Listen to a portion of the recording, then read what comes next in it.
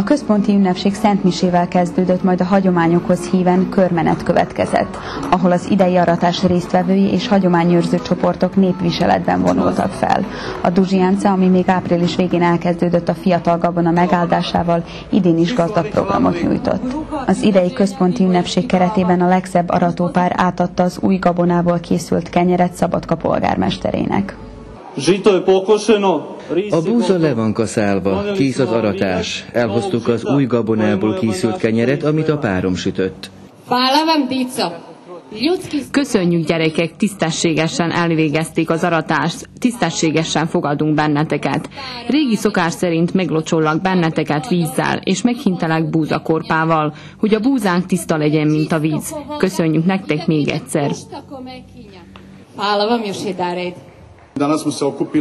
Azért vagyunk ma itt, hogy megköszönjük a derék aratóknak mindazt az izzadságos munkát, amit a betakarításba fektettek.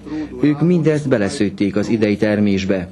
Ma az új gabonát ünnepeljük, hálát adva Istennek, hogy megóvta az idei termést a rossz időtől.